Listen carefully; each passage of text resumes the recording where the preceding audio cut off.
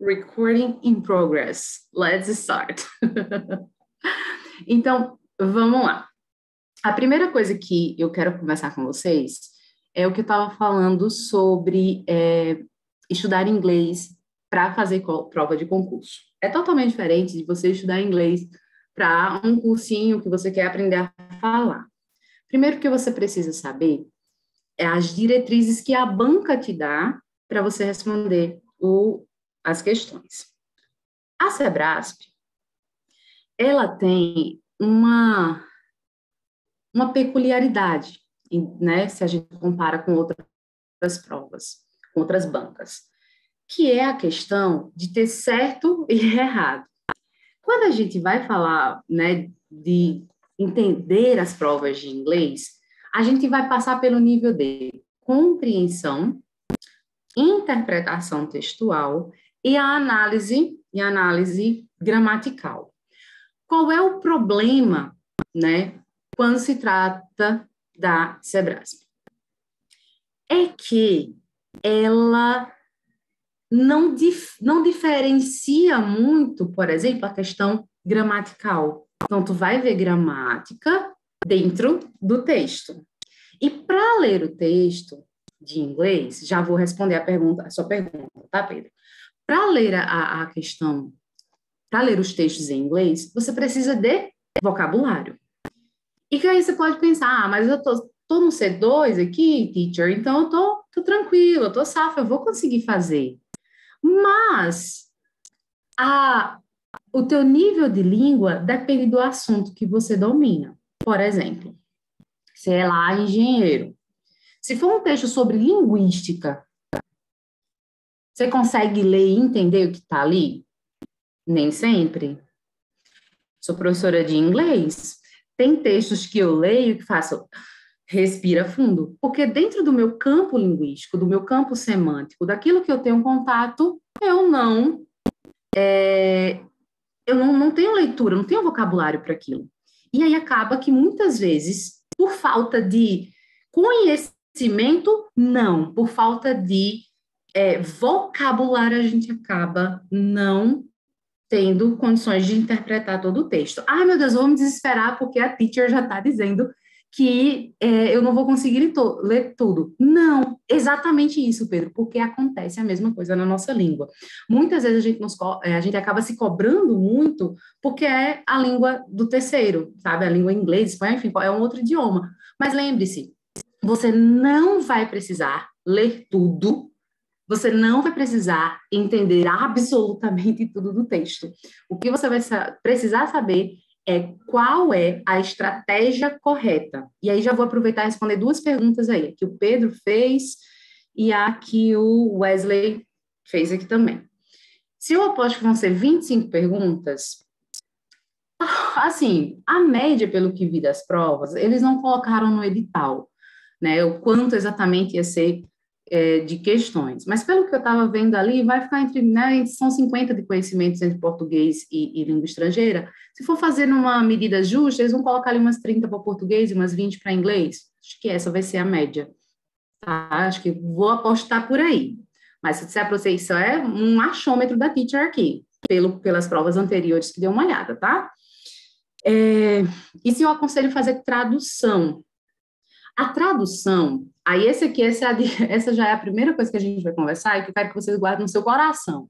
A tradução é uma estratégia dentre as várias estratégias que você pode utilizar para responder à prova. Não pode ser a única estratégia e nem a primeira.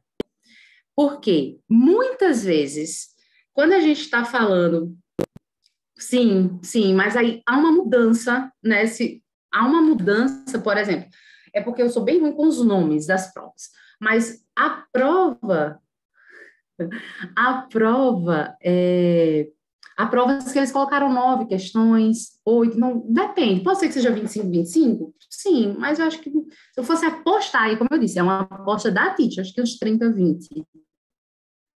Mas não sei, tá? Então, Gabriela, a tradução, se você sabe qual, quando traduzir, como traduzir, ela vai ser um recurso que vai te ajudar. Se você não está tão seguro assim na língua, ah, eu vou fazer aqui a tradução porque é a minha zona de conforto, você, na realidade, está dando um tiro no escuro. Porque, assim, há expressões na língua inglesa que não são traduzíveis para o português. Que você precisa, aquilo que provavelmente o teu teacher de, de inglês já te disse aí em, em outros momentos, que é o entender pelo contexto, é o pensar em inglês. Todo mundo que já estudou inglês na vida já, já escutou isso. Você precisa pensar em inglês. E o que é pensar em inglês? É entender a partir do contexto, que eu estou vendo que alguém aqui já colocou isso, entender o todo do texto para você saber o que aquilo ali está dizendo. E aí, o que, que vão te ajudar? Bem, você vai é, usar de estratégias como ah, os cognatos, não os falsos, cuidado com os falsos cognatos, tá? Mas a gente vai usar os cognatos, são muitas palavras que tem na língua inglesa que se parecem ou que são as mesmas da língua portuguesa. A gente vai usar as keywords, são palavras ali que vão se repetindo, que vão trazer um significado maior. Enfim, tudo, todas as outras estratégias vão te ajudar muito mais do que a tradução. A tradução pode ser um perigo, tá? Mas ela não deve ser evitada. Você só tem que saber dosar quando fazer. Tudo bem? Até aqui? Então, deixa eu ver aqui o que, que tem de pergunta. Let's go. Olha aí a prova de novo. Sim, sim. Existem muitos falsos cognatos. Muitos, tá? Uh, present perfect. Sobre gramática. A gramática, dentro da, da, da Sebrasp, ela é internalizada ela é grama, ela é contextualizada, quase, desculpa, ela é contextualizada. Significa que muitas vezes o contexto, a semântica, a parte significativa daquilo ali, vai te ajudar a responder. Ah, então não precisa estudar gramática? Epa, eu não estou dizendo isso, precisa estudar gramática, mas não vai ser o fundamental. Para essa prova, investe em vocabulário. Uma outra dica para vocês é o seguinte: né, estudando as provas para separar para vocês, uma das características da banca é colocar temas que têm a ver com a vaga em questão. Então, é engenharia? Procurem ler artigos de revistas, jornais, coisas que tenham a ver com engenharia em inglês. Porque isso vai aumentando o teu campo semântico a respeito daquele, daquele tema ou dos, dos supostos temas que você, supostos temas que você pode encontrar na sua prova. Tudo bem? Podemos ir diretamente? As provas de inglês não serão iguais? Sim, não, mas o que eu estou dizendo, Ricardo, é o seguinte. Por exemplo, é, eu estava lendo uma prova da, acho que era Ancine, que a, a, a, era a CESP ainda, né? Aplicou. Então, a temática da prova de inglês para aquela prova era cinema. Liun Daifan estava falando sobre museus. Entende que eles, pelo que pode se perceber, a banca busca pegar temáticas que envolvam a área que eles estão selecionando e, colocarem, e colocar nas provas. Então, quando você tem. Amém, né? Que seja, Pedro. É, essa, por exemplo, é, é, que a gente vai que a gente vai responder, o primeiro trecho fala o primeiro trecho fala sobre empresas, né? Também sobre empresas, sobre crimes. Nossa, Petrobras, crimes, empresas, professor, o que, é que tem a ver? Mas o segundo texto é sobre a própria Petrobras. Petrobras. Então, assim, ah, vai cair só isso, não, mas aumenta ali a tua possibilidade de encontrar campos semânticos para explorar, tá certo? Então, sim, sim, coisas que estão lá. Assim, a Petrobras está em evidência já tem bastante tempo, né? Então, se buscarmos aí na internet textos é, The New York Times, BBC, um, CNN, você vai achar uma gama de jornais que vão trazer vários textos que você pode ler e que vão te ajudar bastante, tá? Aquela leiturinha que ao invés de você ficar lá 10 minutos no, no Instagram, você faz, sabe? Então, assim, despretensiosamente, você acaba construindo um vocabulário. Uma, enquanto eu estou abrindo aqui, que eu fechei sem querer a prova, o slide da prova, vou aproveitar e dizer uma coisa para vocês. Quem estuda, não estuda pelo Google Tradutor. Tá? Desculpa se você gosta. Não estuda. Quem estuda inglês, procura dicionários de inglês. O Google Tradutor, ele é um ótimo, um ótimo recurso se você souber utilizar uma palavra, uma expressão ali, uma coisa ou outra, muito para tirar dúvida. Mas se você está estudando aí, ó, baixa aplicativos da Oxford, da Cambridge, que vão ó, te ajudar muito mais, tá? Vamos lá. Transição energética, tudo isso aí, pode cair. Partiu prova, minha gente. Deixa eu colocar aqui. Du, du, du, share screen. Na aula de hoje, especificamente, nós vamos fazer a leitura do texto, tá certo? Eu vou colocar depois lá no, no grupo, tá bom? Alguns aplicativos que vocês podem baixar. Deixa eu hidratar minha gargantinha. Simbora. É, vamos de certo ou errado tá certo? Hoje vamos de certo ou errado. Embora não muda, minha gente, que A, B, C e D, E, de alguma forma é um certo ou errado também. Vamos, vamos lá. A prova, vocês conseguem ver aí, minha gente? Tá, tá transmitindo direitinho? Pronto, então. Ai, Maria Luísa. Tá, a primeira coisa que eu quero falar com vocês hoje, na aula de hoje, é sobre estratégia de leitura. E não vamos falar, nesse momento, sobre é, a tradução. Vou deixar para uma outra aula. Mas duas estratégias que quem já estudou inglês alguma vez na vida já ouviu falar, que é scanning e skimming. São as duas mais básicas e as duas principais estratégias de leitura quando a gente está lendo um texto.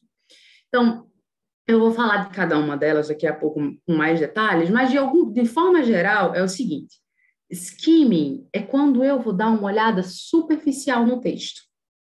E scanning é quando eu vou olhar os detalhes do texto. Essas duas leituras, tipos de leitura, elas são essenciais porque elas te ajudam com poupar tempo e sabendo o que está se pedindo na questão, entendendo o que, que você está indo buscar na questão, você vai saber se você precisa ler todo o texto ou se você vai precisar ler apenas parte do texto. Outra coisa muito importante que a gente precisa conversar hoje é sobre o vocabulary building, tá? É sobre a necessidade de criar vocabulário. E aí, por isso que eu falei no começo, tenha caneta, tenha papel, rabisca a tua prova. Enquanto você estuda, a estratégia que você vai montar para fixar as palavras, ela vai ser, essa vai ser muito, muito, muito importante. E, obviamente, a gente vai fazendo aí uma revisão dos pontos gramaticais. A aula não é para mim, tá? A aula é para vocês. Então, não entendeu? Pergunta, tá? É, pede para repetir, tá bom? Vamos lá. Vamos ler aqui o, textinho. Então, no esquema, o que, que eu faria? né, dentro dessa estratégia de skimming. Eu olho aqui, não tenho figuras, não é uma tirinha, não é uma receita, e como é que eu sei disso? Que eu passo o meu olho aí pelo texto e de cara já percebo que tem ali um título está dividido em parágrafos. Então, esse texto poderia ser uma narrativa, esse texto poderia ser uma resenha, esse texto poderia ser qualquer outro gênero, mas não é um poema, não é uma música. E eu sei isso só por olhar. Isso é fazer skimming numa margem mais, mais superficial possível. Isso me ajuda muito. Indo um pouquinho mais além no skimming, leia aqui, ó, dentro da técnica de skimming, as primeiras, as primeiras linhas. Como você folheia, folheava-se antigamente as revistas, como hoje a gente vai passando lá o dedo nas redes sociais e, e a gente acaba é, percebendo ali é, do que se trata determinada postagem, sem necessariamente nos atermos à, à postagem em si.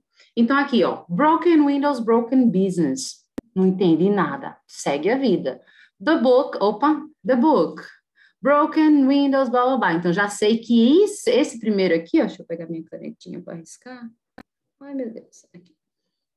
Eu já sei que esse texto vai se tratar de um livro, tá? Então, vai apresentar um livro, vai criticar um livro, aí eu vou descobrir depois quando eu estiver fazendo o meu scanning.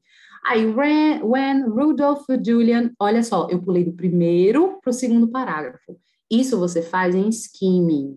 Vai lendo ali as primeiras linhas dos primeiros parágrafos para você ter uma ideia de como é que o texto vai sendo levado. Então, depois que você fizer isso, e eu vou dar uma adiantadinha aqui. Opa.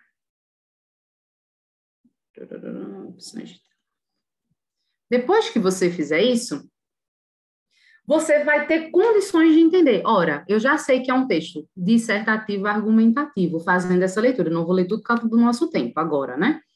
Então, já sei aqui, ó, apresentou um, apresentou um livro, né? O autor do livro é esse Levin, que vai se repetir aqui depois. Então, estou falando sobre o que ele fala no texto.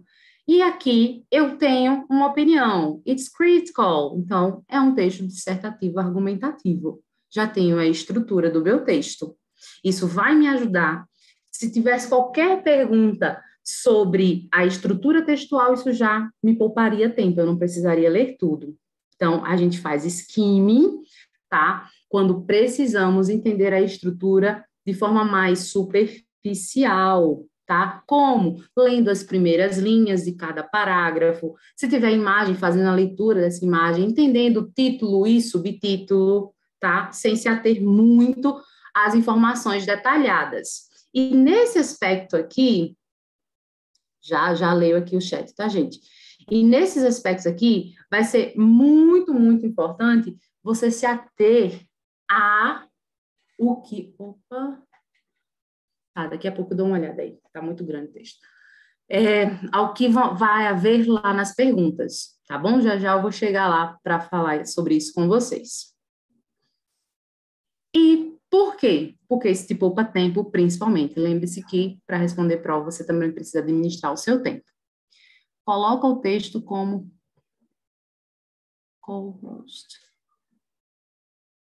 Eu ah, de colocar, né? Vou colocar, mulher, pera. Ô, oh, Luísa, só um segundo, tá, gente? Eu. Deixa eu te achar, Luísa, aqui rapidinho. Maria Luísa. Só um segundo, gente. More. Achei o more que você está falando. Make co-roast. Tá aqui. Pronto, Maria Luísa. Tá feito. Tem.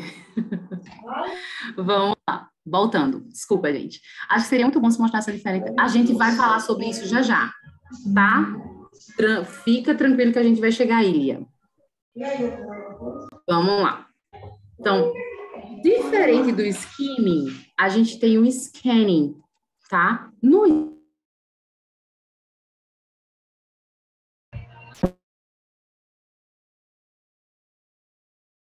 Ficou mudo, professora. Você está mutada.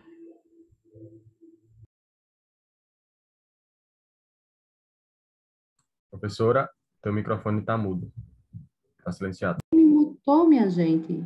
Hello! Chega mais perto. Acho que quando a senhora se afasta, é... ele corta sensibilidade. Tá me ouvindo agora? Can you Sim. hear me? Yes. Olha, desculpa, fui eu. Eu botei mutou oh. para quem entrou e acabou mutando vocês também. Vou cuidar ah, aqui. Foi a Ma Maria Luísa que me mutou, minha gente. Let's go. Então, é, cadê Lia? Eu vou falar já já sobre essas coisas, tá bom? So, let's come back here. Já o scan, o scan é olhar com atenção, é fazer aquele escaneamento mesmo, tá? Detalhe por detalhe. E aí é o que a gente vai fazer agora, porque nessa leitura, na aula de hoje, como eu disse, a proposta é a gente entender como é que a gente vai fazer essa leitura. E ir para as questõezinhas, eu vou passar que eu acabei explicando isso aí e por lá. Então vamos lá.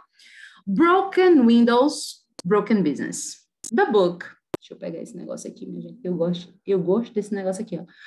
The book, então a gente já sabe que a gente vai falar de um livro, Broken Windows, Broken Business, by Michael Levine, was inspired by an article entitled Broken Windows. Então, a gente já tem informação bem importante aqui. A gente já sabe que é um livro, Was inspired, que foi inspirado no quê? Num artigo que foi intitulado, né, que tem como título Broken Windows. E a gente tem o nome dos autores do, do artigo. In the March 1982 issue of Atlantic Monthly, Wilson and Kelly suggested that when laws against minor crimes, such as graffiti and turnstile jumping, are enforced and broken windows are promptly, promptly repaired, major crimes rate will decline. Meu Deus, o que, que é isso? Informações importantíssimas que você tem que saber. Teacher, eu não saberia ler tudo isso, tá? Vamos pensar aí na galera que está com o nível um pouquinho mais, mais né, low level. Então, o livro, a gente já sabe, foi inspirado num artigo, tá? E esse artigo sugeriu o quê? Aí a gente vai precisar responder aquelas perguntinhas que a gente aprende lá no ensino médio. O texto fala sobre o quê? Vai sustentar que ideia, tá? When laws against minor crimes are enforced, major crimes rates will decline. Então, o que, que a gente tem aqui? A ideia principal, a main idea desse texto, que quando leis são aplicadas, tá? Esse are enforced, que estão aí, significa são aplicadas, né, em crimes menores, o que que acontece? Os crimes de maior envergadura vão acabar diminuindo, esse will decline, aqui esse will, que aparece aqui, ele é o verbo modal de futuro, tá? Então, will decline, vão diminuir. Tá bem? Algum vocabulário que quem tá, que chegou agora, não deu tempo de prestar tanta atenção assim, nessa primeira parte do texto, não entendeu? Deixa eu ligar aqui, tá, gente? Tá tranquila aí? Professora. Vamos lá. Eu quero.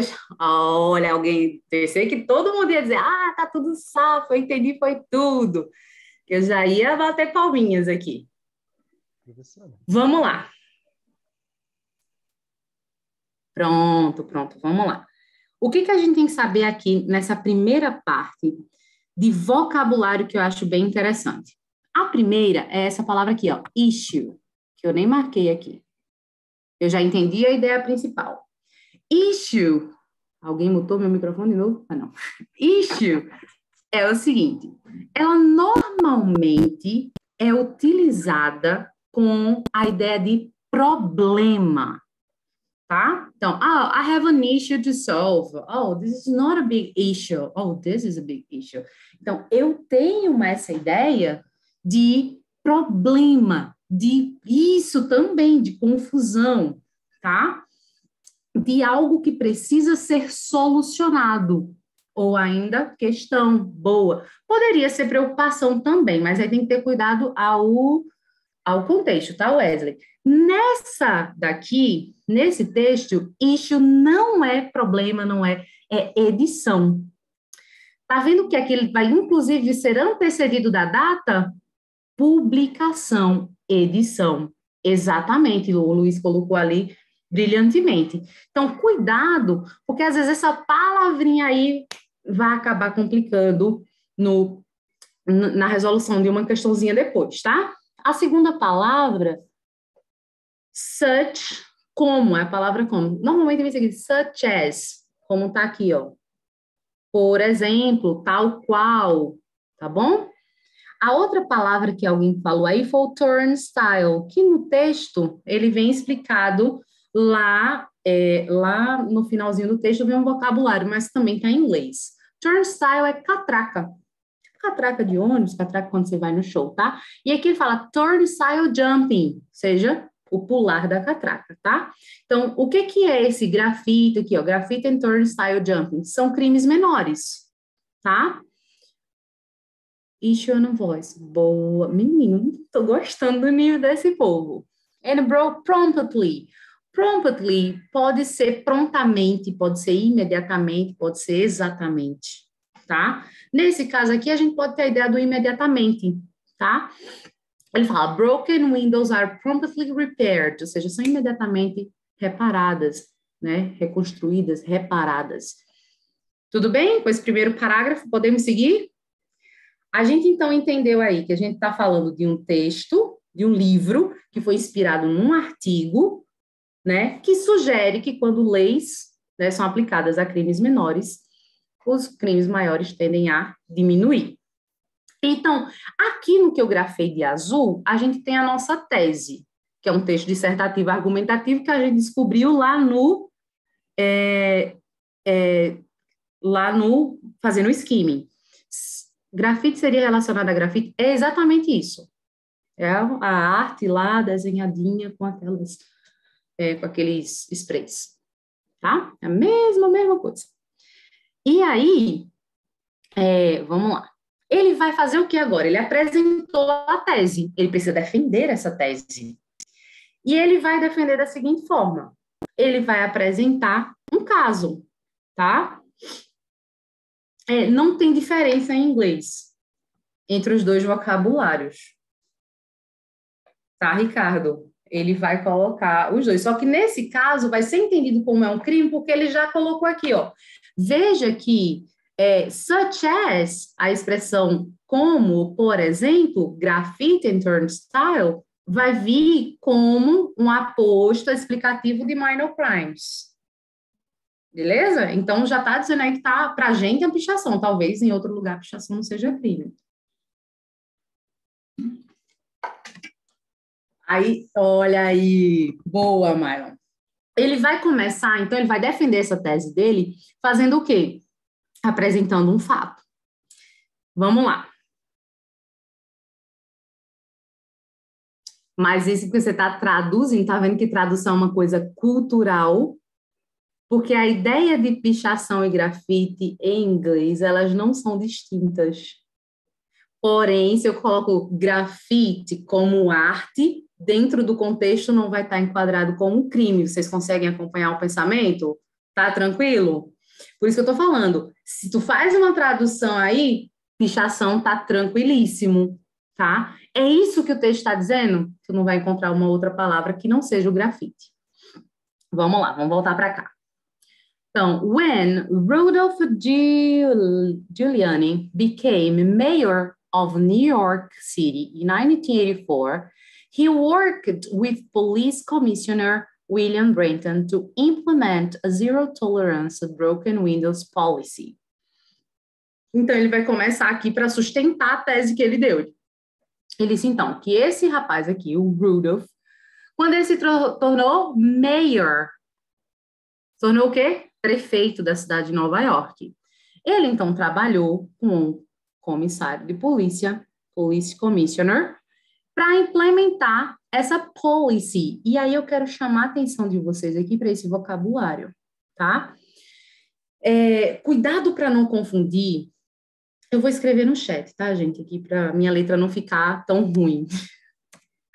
politics com politics. Porque politics tem a ver com política. Boa, Rafaela. Politics vai ter a ver com política, tá? Dos partidos políticos. Policy, do jeito que está escrito ali, tem a ver com política na ideia de que foi implementado algo, tá bem? Então há essa diferença aí para não acabar confundindo dentro de até um outro, um outro texto. Então vamos embora. Vamos continuar aqui. Isso tem a ver com política pública regras e conduta. Adorando o vocabulário de vocês.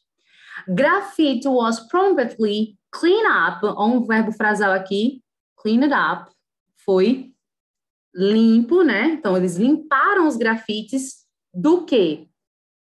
On subway cars. Dos vagões. Dar boa tá? Não com o metrô. Subway, subway é o metrô, tá?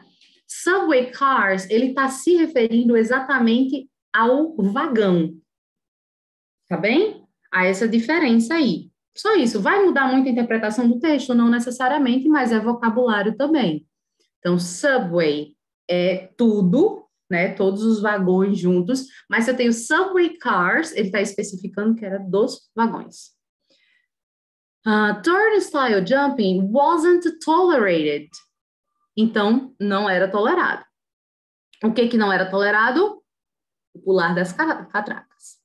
Laws against petty, petty crimes. Petty, pequenininhos. Crimes were enforced. Então, foram aplicados. Então, ele está fazendo o quê? Ele está... Isso, Jonathan. Ele está exemplificando ali, né? Que dentro da cidade de Nova York, a aplicação de leis contra esses crimes menores funcionou.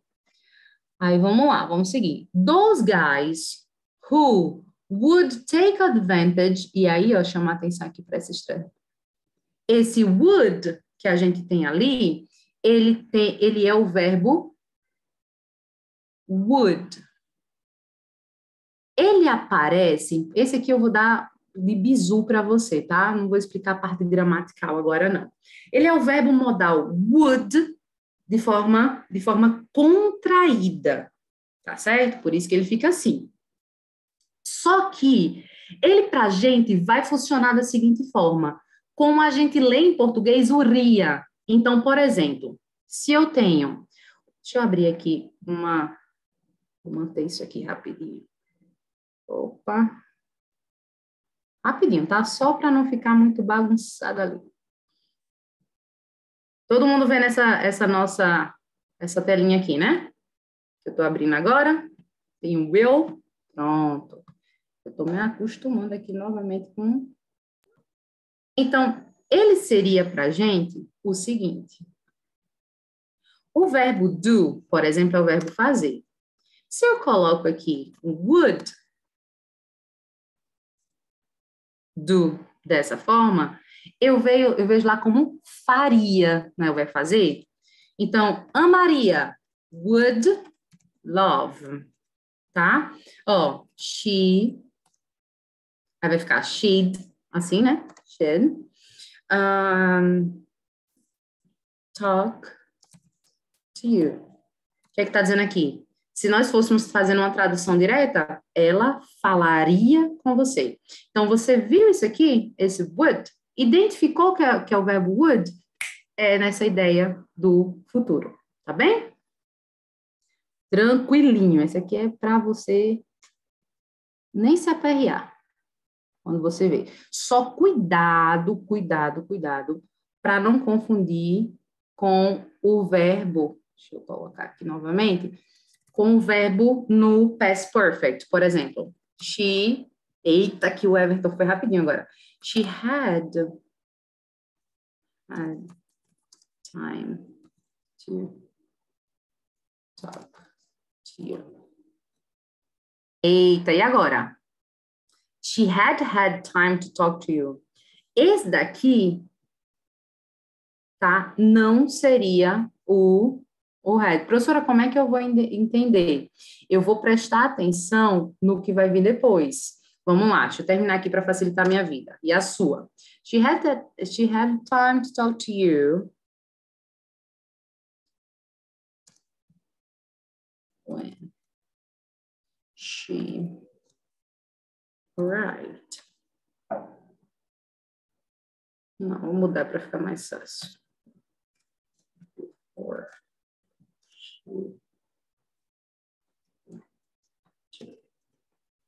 Pronto.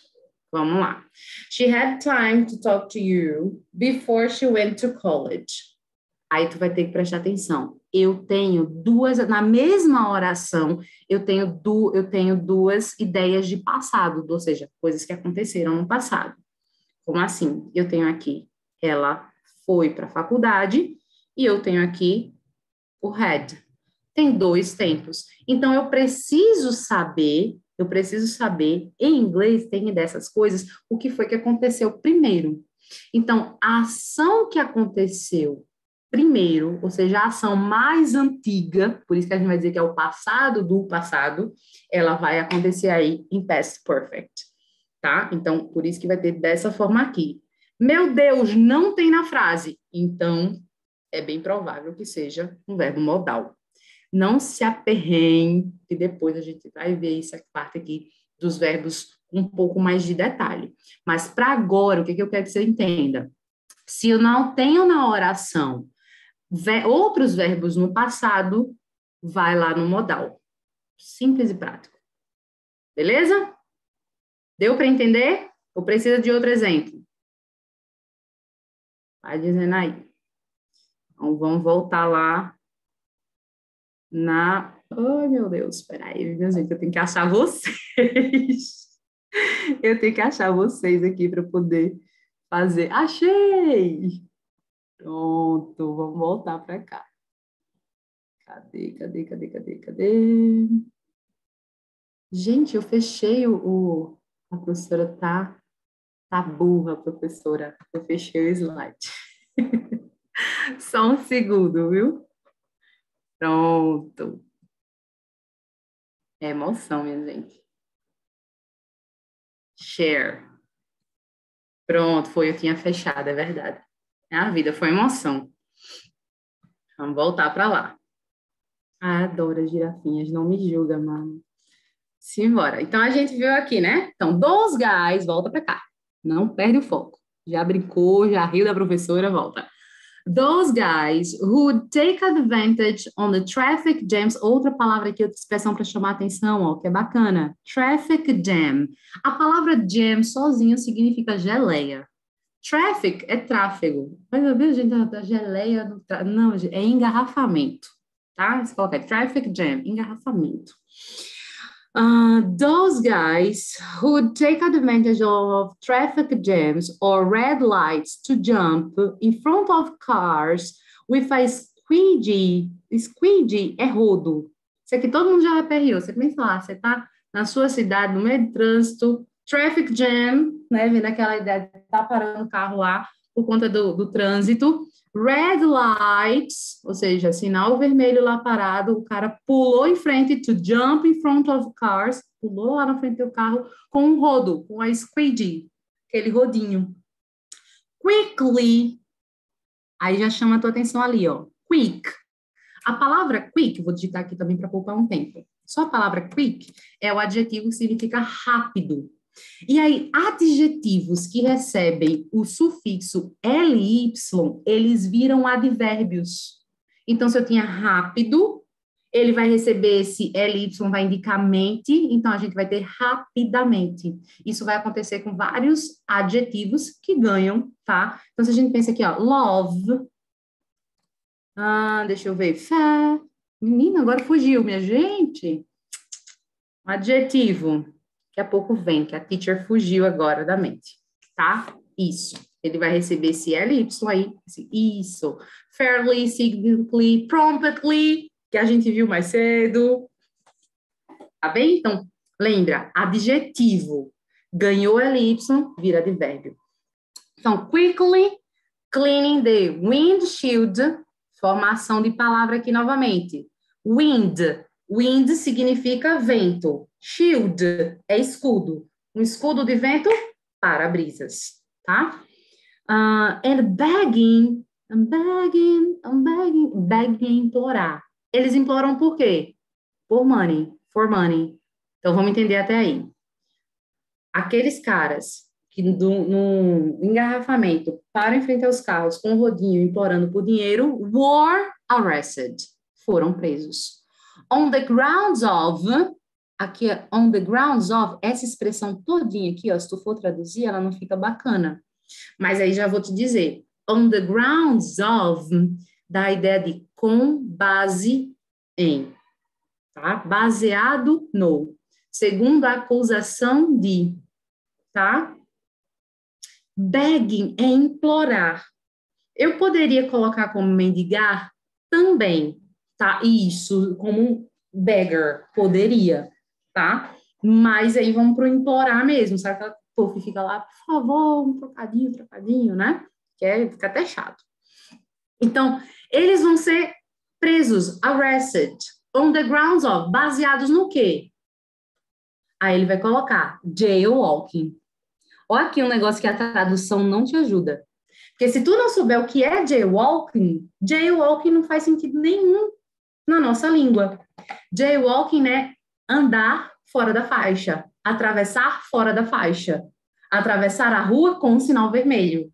Mas se você não sabe o significado dessa palavra, tu não, a tradução dela, walking, caminhar, Jay, quem é Jay? Você acaba se perdendo. Deixa eu me hidratar, minha gente.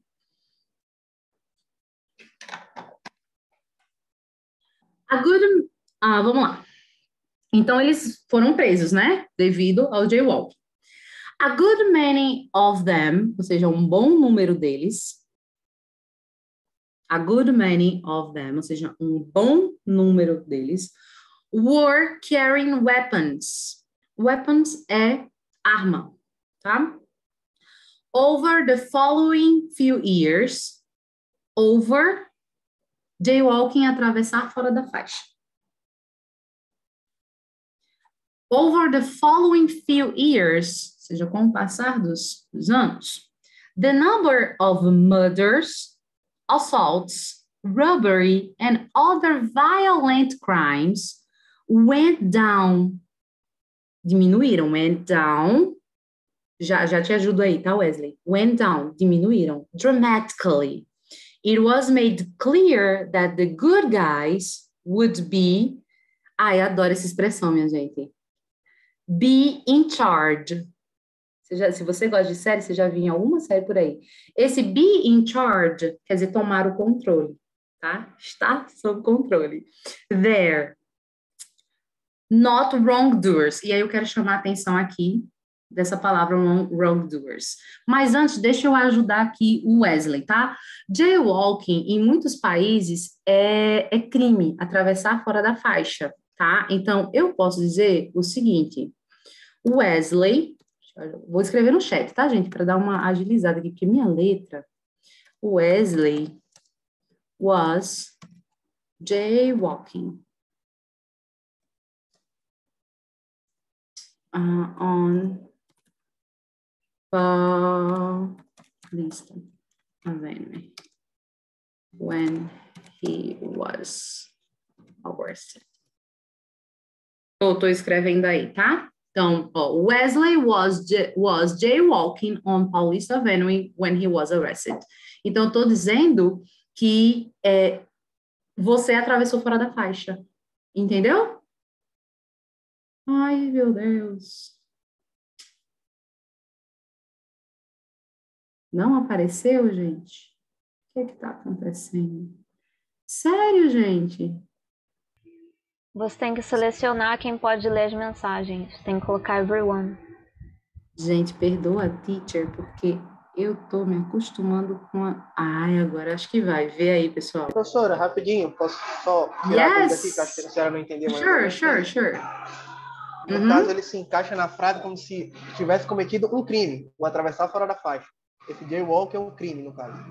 É o crime.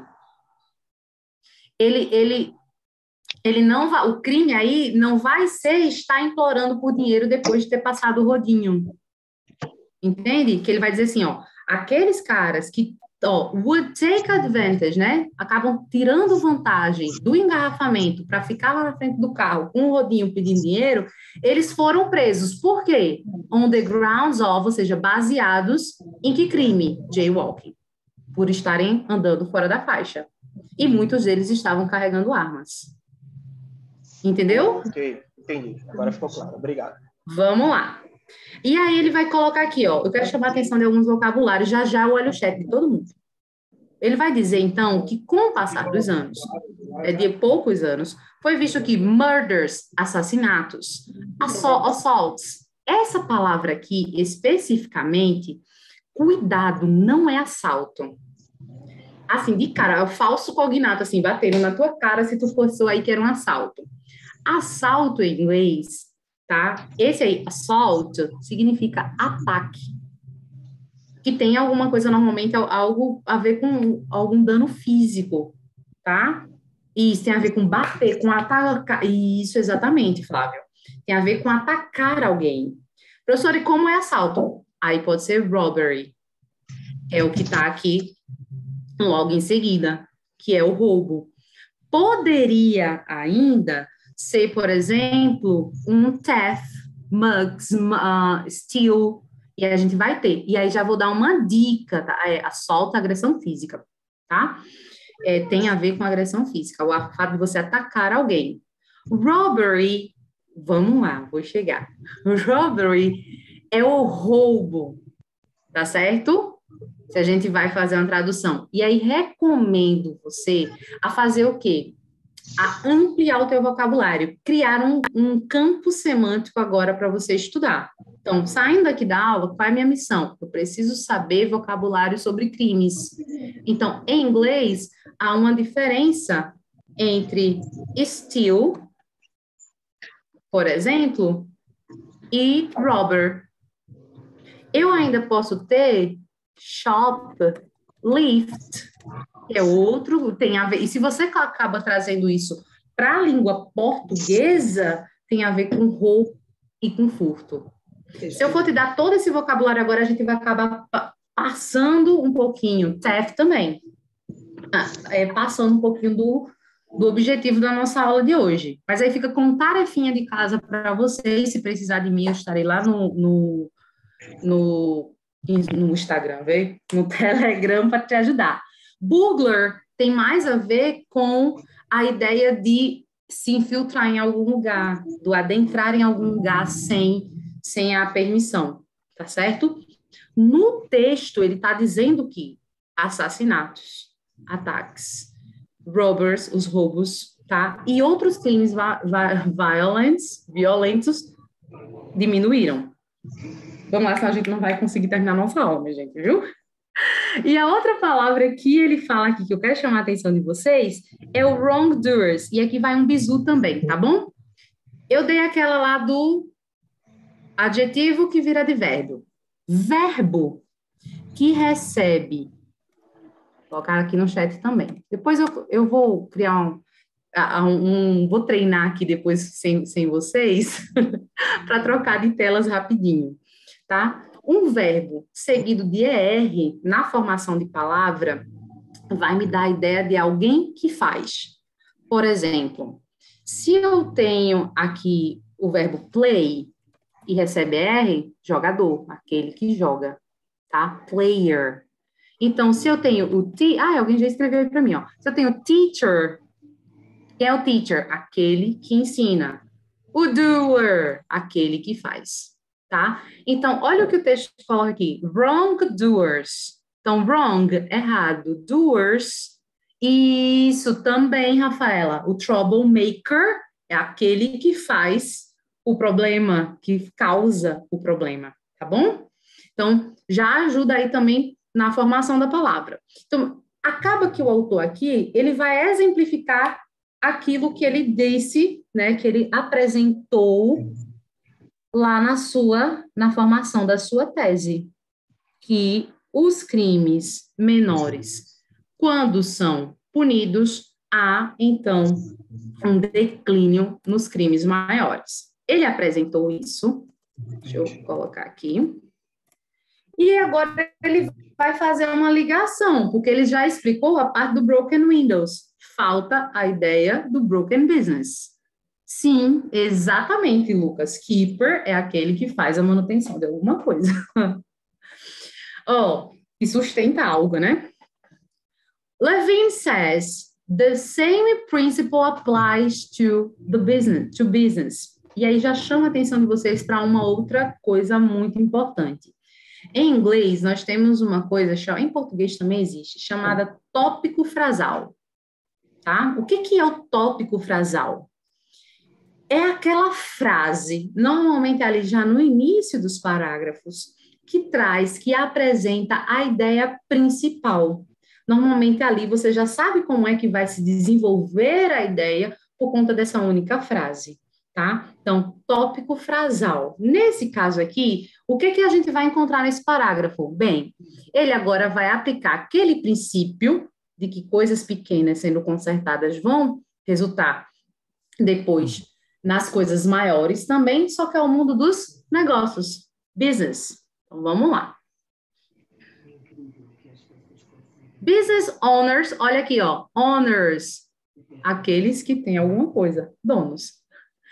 Business owners and their employees must become fanatics in attending to the details of presenting outstanding customer service.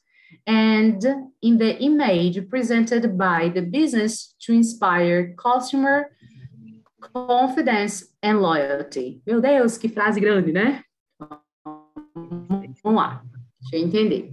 Então, ele está dizendo que é, os donos dos negócios e os seus empregados, employees, tá? Eles must become, e aí chama atenção aqui, ó, para must, verbo modal. Must vai ser aquele verbo modal que dá a ideia de obrigatoriedade, tá? Must become. Gente, alguém tá com a TV ligada aí, tá atrapalhando o som. Please mute all again. Thank you. Deixa eu me hidratar, minha gente. se hidratem também. Must become fanatics, ou seja, eles têm que se tornar fanáticos. Sobre o quê que eles têm que se tornar fanáticos? Attending to the details, atentassem aos, de, aos detalhes, tá? Of presenting outstanding, outstanding, fantástico, maravilhoso, excepcional. Se a gente for traduzir ao pé da letra, excepcional, tá? Apresentar, então, o que, que é excepcional? Atendimento ao cliente. E in the image, na imagem, né, apresentada, presented in the business to inspire customers' confidence. Então, se ele faz isso, se ele se dedica, né, os trabalhadores e os donos a esses de detalhes, eles vão trabalhar o quê? Inspirar o quê? A confidence, confiança e lealdade dos seus customers, dos seus clientes. Dúvida? Pulei alguma palavra aí que alguém precisa saber? Ou tá tranquilão aqui? Vamos seguir então, tá? The broken windows theory is all about unmistakable. Olha essa palavra enorme aqui. Unmistakable, sem erro, tá? Mistake, mistake tem a ver com erro. Aí ele coloca aqui um prefixo que é um prefixo de negação. Então, sem erro. Mas sem um able no final. Aí a gente vai traduzir, ó, tá vendo que a tradução vai ser um problema? Que a tradução dessa palavra aqui vai ser inconfundível. Tá? Então, é aquilo que não vai ter erro. Pode ser também. Então, o que, que não tem erro? Power of perception, o poder da percepção. About what people see, que as pessoas veem, and the conclusion they draw from it. E as conclusões que as pessoas tiram. Pô, professora, eu poderia colocar desenho, porque para mim draw é desenho. Sim, que as pessoas pintam, que elas desenham a partir disso. Poderia também, tá? Acontece, acontece. In business perception is even more. É, esse even more aparece bastante em texto, tá? Even more é ainda mais critical nos negócios. Essa percepção é ainda mais critical. The way a customer or potential cross customer perceives your business is a crucial element in your success or failure. Failure é falha, ou seja, sucesso ou falha. Ai, meu Deus, se eu não soubesse, bem, um está negando o outro, né? Or, já me dá a ideia que é um ou outro. Me, make one mistake, cometa um erro, faça um erro. Have one rude employee, rude, ignorante, tá? Alguém que é ríspido. Uh, employee, ou seja, o empregado que é dessa forma. Let that customer walk away, ir embora walk away. Tá? Então, deixa aquele, aquele cliente ir embora with a negative experience one time, apenas uma vez, uma, uma experiência negativa apenas uma vez, and you are inviting disaster. Tá acompanhando até aí, né? Porque aí você já entendeu o primeiro, a primeira parte, então ele está pontuando coisas pequenas que podem acontecer na empresa uma única vez que vão, é, que vão acabar resultando aí no, no, no, resu, no, resultando no resultado ruim. Boa, teacher. Poderia ter usado once? Poderia. Poderia sim. Aí eu teria, ao invés de colocar é, one time, só once, tá? E você é convidado a um desastre. Boa, dá. E evite um desastre. Não, aí, aí Mylon, a gente vai por aqui, ó. Porque quando ele diz, and you are inviting disaster, é tipo, e você é convidado, você está convidando um desastre, sabe? É você que está provocando o desastre na sua empresa. É essa a ideia. Vamos lá. Small things make a rude difference in business. Olha como o texto vai brincando aqui com sinônimos e antônimos. De novo, ó, small things, coisas pequenas, make a rude difference. Rude é o contrário, é o antônimo de small. Então, small things, rude difference. The messy condiment area, messy quer dizer bagunçado, tá? Condiment area, aqui na minha terra, que é Pernambuco, né? Pernambuco, meu amor, não é muito comum. Mas se você for para, não sei, em São Paulo, cidades maiores que você tem, por exemplo, aqueles restaurantes, tem uma área, sei que fora do Brasil tem bastante. Tem uma área para você, sei lá, comprou um cachorro quente, você mesmo faz o seu, uh, você tempera a comida. E lá tem ketchup, maionese, tem os picles, tem as saladas, e aí você vai colocando o tempero no, no seu sanduíche, por exemplo. Então, esse condiment area é uma área dedicada no, no, no restaurante para você condimentar, dar uma temperada lá no seu sanduíche. É tipo um self-service de condimentos, exatamente. Então, imagina que é, ó, the messy condiment area, tá bagunçado. Aquela área. Uh, at a fast food restaurant, may lead, olha verbo modal aqui novamente. May, aqui, vai me dar a ideia de possibilidade. Quer dizer que o consumidor, que o, o cliente vai sair de lá com uma, uma impressão ruim? Talvez não, talvez ele olhou ali e nem ligou, mas esse may vai me dar a ideia de possibilidade. A gente viu must aqui em cima, must é modal também, me dá a ideia de obrigatoriedade. May me dá a ideia de possibilidade. Mas é possibilidade presente, não poderia, é, Gabriela, colocar esse could, porque se eu colocar could ali, é possibilidade passada. Aí eu acho que esse dá para gente. Eu não quero fechar. E aí, como é? é porque, minha gente, esse está na. Esse negócio aqui que eu estou apresentando, ele está na apresentação. Enfim. Quando eu entender ali o que é está rolando, eu explico para vocês. Mas deixa eu abrir meu quadrinho. Opa, stop sharing. Vamos para cá.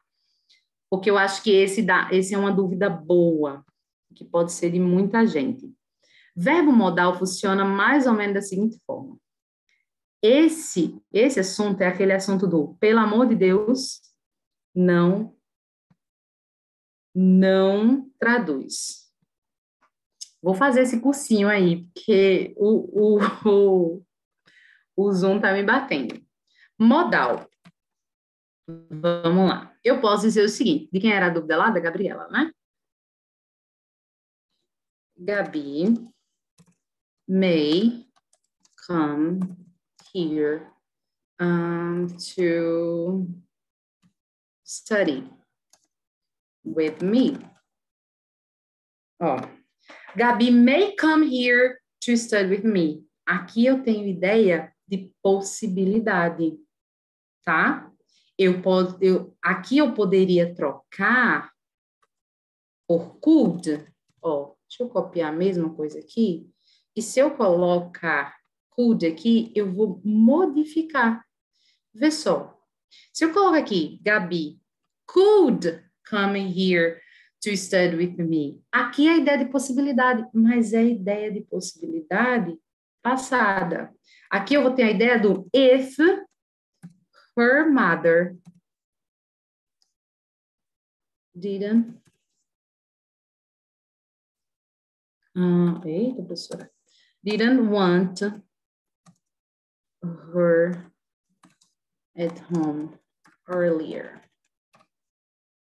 Olha, a ideia que eu vou ter quando eu usar um can, um, um could, é essa ideia do if, do se não tivesse alguma coisa. tá? Já, já explico aí o might que vocês estão falando. Professora, eu poderia então colocar um can? Vamos lá, vamos colocar aqui. Gabi can come here to study with me. Possibilidade. São sim. Esses são interchangeable.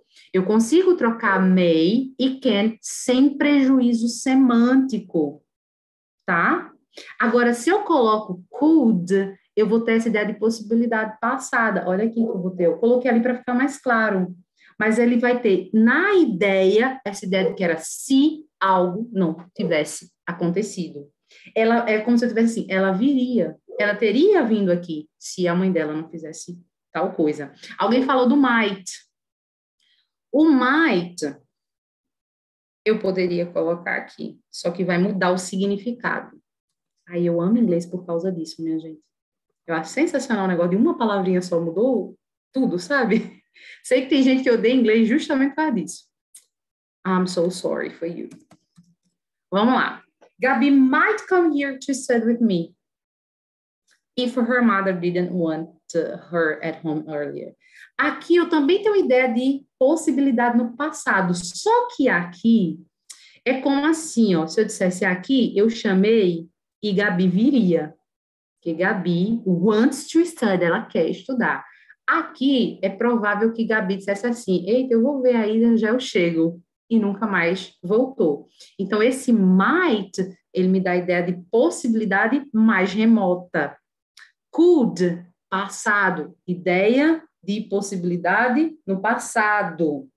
May e can, possibilidade, que aí são intercambiáveis. Tranquilão? Dúvida Professora, tirada? Senhora.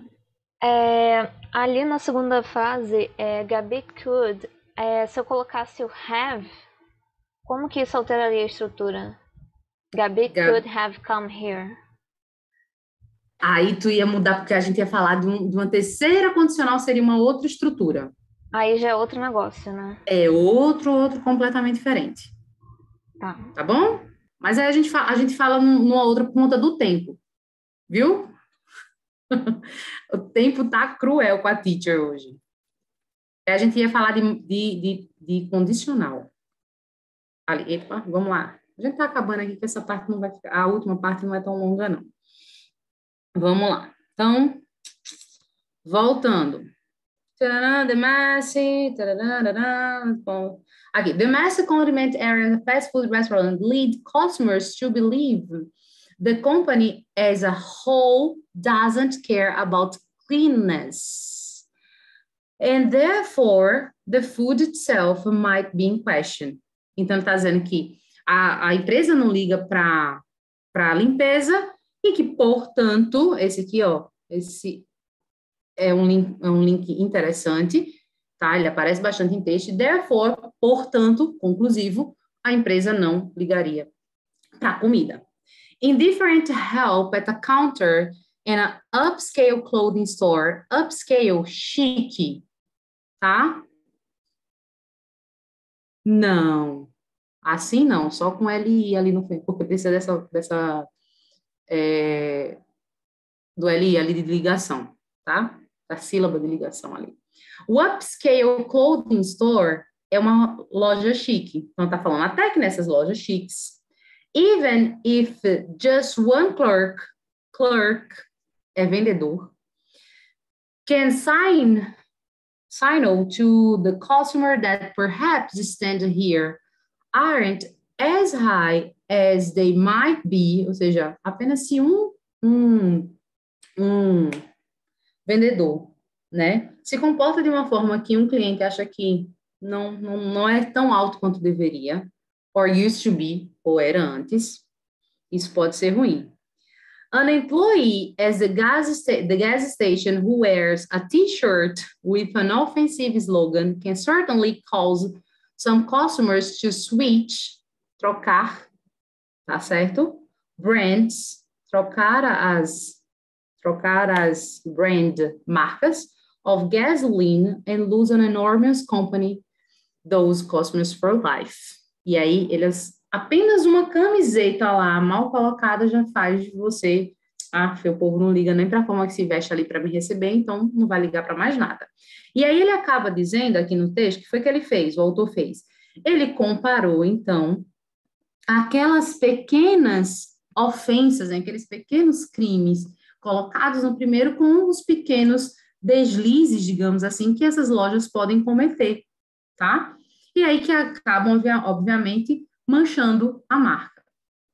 E aí, para a gente acabar, mystery shoppers, olha aqui, ó, shoppers, tá? Compradores, não compradores misteriosos, should be, should, modal novamente, de conselho agora, tá? Should be regularly uh, employed to learn whether, essa palavrinha que eu acho legal vocês saberem também, porque normalmente a gente conhece o if, mas a gente esquece dessa daqui. Elas são amiguinhas, tá? Só que de um jeito mais chique, exatamente. Um, employed learn whether customers are having a positive experience dealing with, aqui a gente tem um verbo modal, um verbo frasal, dealing with é lidar, tá certo? Amiguinho de qual? Do if.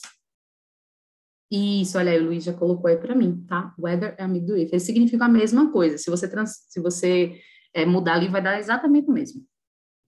Dealing with a, with a company. Candidates for mystery shoppers to recruit include customers who already complain about, reclamaram, complain significa reclamar, their experience with the customer, with the company. Ou seja, aquelas, aquelas é, pessoas que já tiveram problemas com as empresas deveriam ser contratadas para ser mystery shoppers, ou seja, para irem ali disfarçados naquelas lojas para avaliar, tá? Deal with, isso é lidar com. It's critical that, critical nesse caso é muito importante, tá? That the right kind of people, those who enjoy dealing with people, ou seja, é muito importante o quê? Que as pessoas que gostam de lidar com pessoas be hired for customers contact position, ou seja, trabalhar com pessoas precisa ser pessoas que gostam de lidar com pessoas. Employees exhibiting an attitude of a smile isn't my in my job description, ou seja, um, um, sorriso não está na descrição do meu do meu emprego, né? Alguém que fala isso, os empregados que falam isso, must be told that a smile certainly is required. Deveriam ser dito, né, que eles realmente têm que sorrir. And to find other employment e procurar outro empregos. E aí você vê que employment e employee, employee vai ter tudo a ver com emprego, tá? Está dentro do mesmo campo semântico. If they can't fulfill, completar, the required behavior, ou seja, se eles deveriam é, procurar outro emprego, se eles não podem completar ali que é, é requerido deles como comportamento. The worst business scenario is broken window hubris. O texto também traz o que é hubris. Para poupar tempo, é ganância. Arrogância aqui ficaria melhor numa tradução. Arrogância, esse broken windows, arrogância, essa janela quebrada de arrogância. Examples are uh, Kmart and Aaron. Aaron. A company suffers from broken window hubris when management thinks business is so successful that it's no longer important to please customers.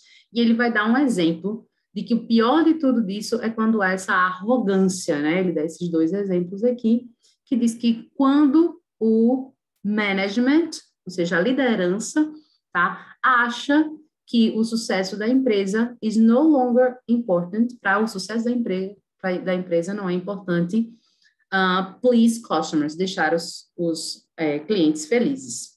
Esse tipo de leitura, minha gente, a gente não vai fazer toda a aula. Queria fazer hoje, para vocês verem mais ou menos qual a ideia de você fazer sozinho, tá? Think é o verbo pensar. Isso mesmo, tá bem? Vamos para a pergunta que eu creio que tem uma galera aí que tá, meu Deus, vamos embora, professora. Vamos lá. Perguntinha. Sopa. Tirar aqui. In the text, oh, Eu vou começar pela questão 40. Por que pela questão 40, docinho? Por que pela questão 40? Porque são as questões mais fáceis de serem respondidas no texto. Por quê? Porque elas envolvem mais gramática. E na questão ele te diz exatamente em que linha buscar. Então é aquela que tu bateu o olho, dá para responder, tá bom? Vamos lá. Ideia geral do texto.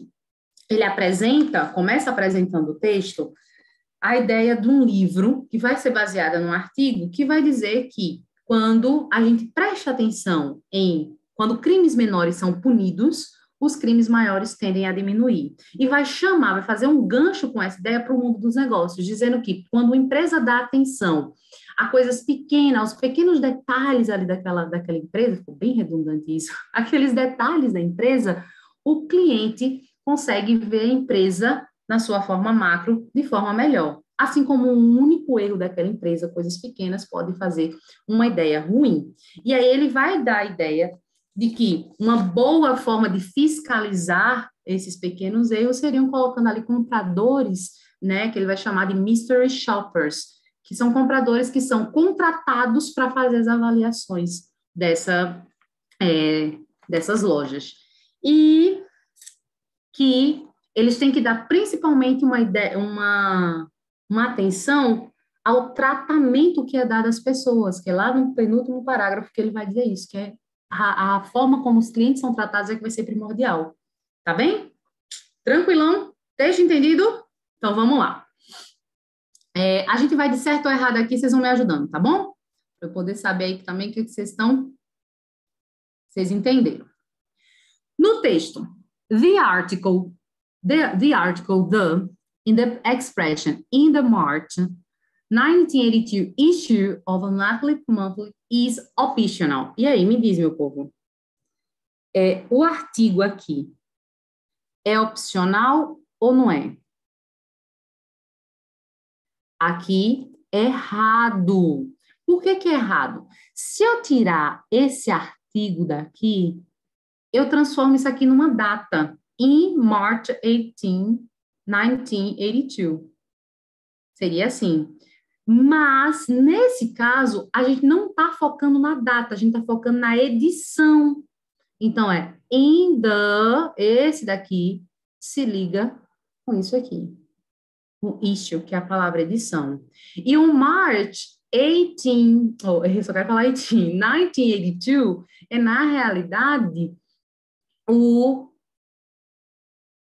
Aqui, ó. É na realidade aquilo que vai é, especificar qual é a edição. Vai, vai na realidade, é, funcionar como um adjetivo ali do, da, da palavra edição, tá? Não é para dar ênfase, não, tá? É porque é necessário, porque imagine que eu não tivesse aqui a data, ia ficar in the issue, ou seja, na edição da, de, dessa revista lá. Mas aqui eu quero especificar qual é a edição, por isso que tem aqui esse número que vai funcionar. Essa data, na realidade, ela funciona como adjetivo, tá? March, meses, nome de mês, nome de é, dias da semana, nome de estação do ano em inglês, tudo com letra maiúscula tá? Nossa língua aqui não tem isso, mas em inglês eles colocam. Teria algum caso que poderia tirar o the? Sim, tem vários casos na realidade. Nesse daqui especificamente, como nós estamos, não estamos falando de datas, aí eu não poderia tirar. Por exemplo, eu posso dizer assim que Graciela, deixa eu colocar aqui para everyone. Graciela was born in May 3rd. Nesse caso aí, eu não preciso do the, porque eu estou falando de uma data. Tá certo?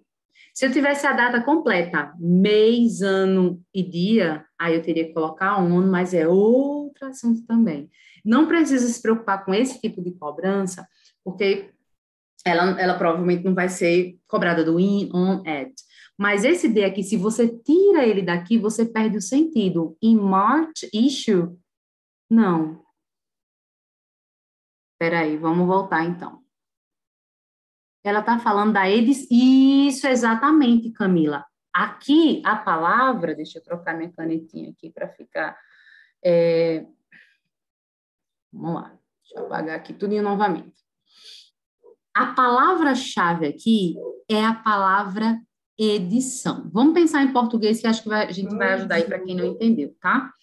É, a palavra edição é como se a gente, a gente fosse dizer assim, na edição de. Para dar essa ideia de na edição tal, eu tenho que ter essa palavra aqui, inda. A ideia de na edição. Se eu tiver somente o in, seria em. Em edição, não, não teria sentido nenhum. Estou falando para quem não entendeu, assim, tá perdidão, tá? Então, voltando lá, eu estou focando na edição. Professora, pelo amor de Deus, por que, que aparece essa data aqui? Ela funciona como adjetivo, porque ela está especificando qual é a edição. Entendeu agora? Valeu! Isso ele exatamente deixa de ser a edição da revista. A 41, vocês colocaram o quê? Certo ou errado?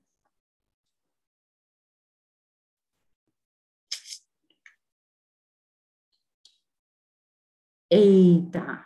Foi todo mundo? Vamos lá. Ele quer saber se um, laws against minor crimes are uh, is the subject or are enforced. Isso tá, galera, na prime no primeiro parágrafo do texto. Eu até gravei porque é nele que a gente tem a ideia principal do texto.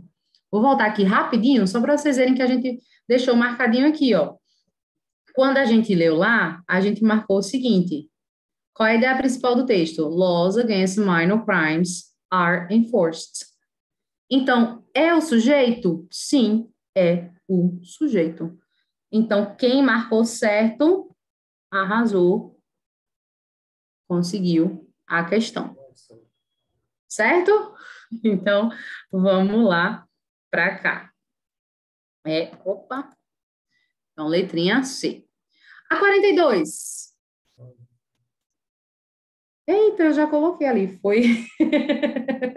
Ninguém viu, né? Que a professora colocou o errado. Esse will também está lá no primeiro parágrafo, tá? É a última frase do primeiro parágrafo.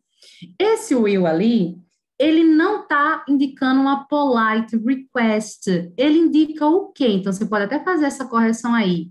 Ele não indica uma polite request, ele indica futuro, tá? E nesse caso é um futuro incerto, como consequência da, das leis que tinham sido aplicadas. Está errado, tá bom? Então, vou repetir, ele indica futuro incerto. E esse futuro incerto devido ao quê? A consequência lá de quando as leis são aplicadas. O que, que é um polite request? Polite significa educado. Request é um pedido. Então, um polite uh, request, a gente poderia usar, por exemplo, se, coisa que você aprende lá no início, por exemplo. Uh, would you take a cup of water for me? Aqui eu posso acrescentar um please no final para me dar. Eu poderia ter esse would you take? Eu poderia ter um uh, would you mind? Would you mind taking a cup? E aí vou colocar aqui, ó. Poderia ser assim. Então, eu tenho formas de perguntar, de é, com, mostrando um pouco mais de educação, tá? Em inglês tem muito, tem também em verbo modal. Isso você estuda em verbo modal, tá bom?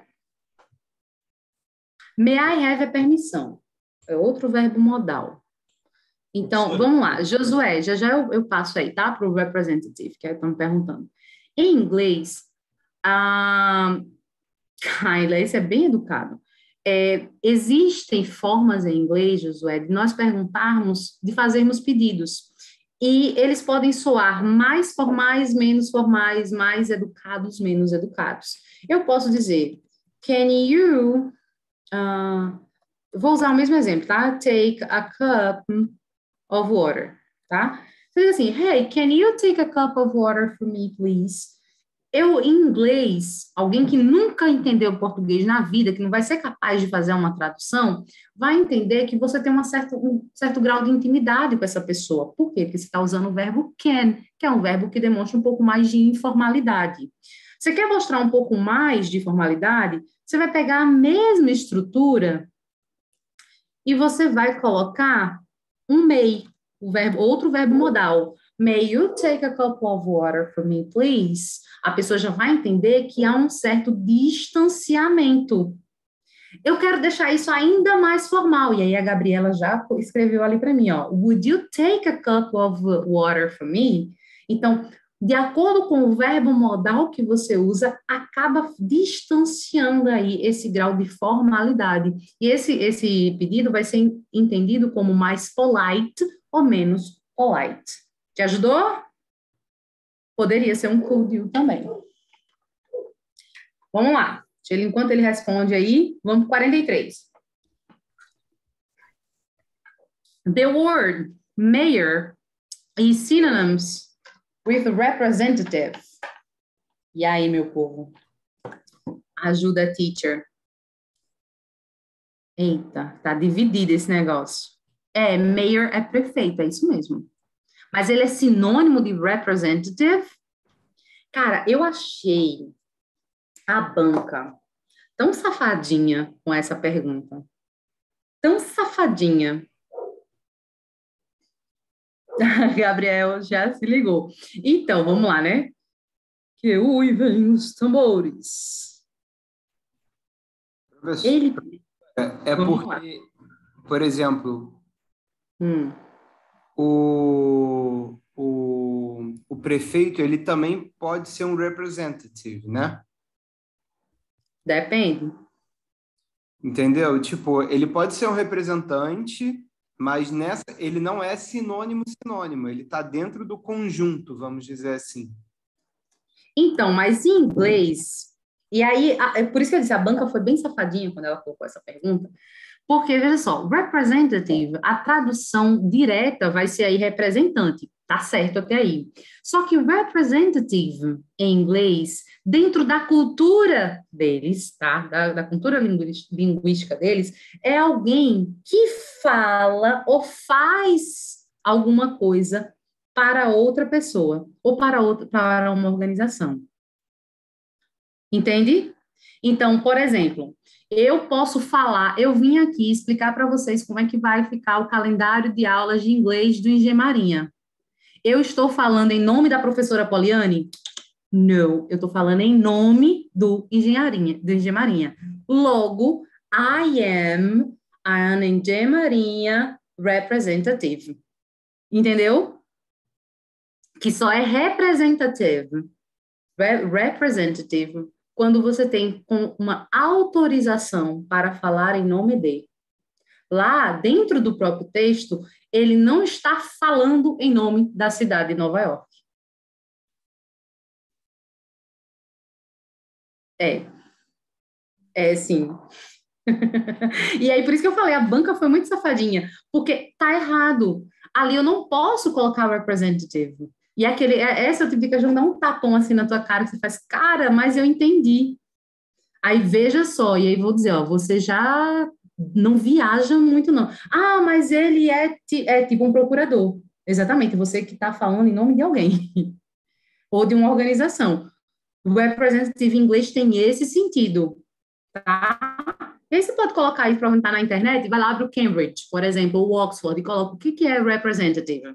Vai ter lá, someone who speaks um, under authorization of somebody, alguma coisa assim, tá? É, é bem. E aí tá errado, não, a gente não pode trocar, não. A mayor só é mayor lá mesmo.